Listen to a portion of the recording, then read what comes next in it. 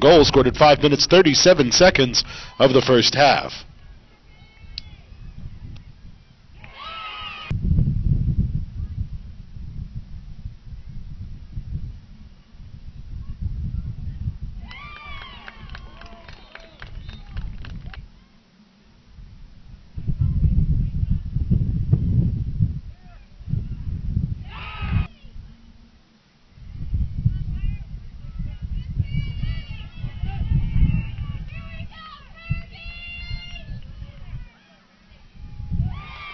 Seconds of the second half.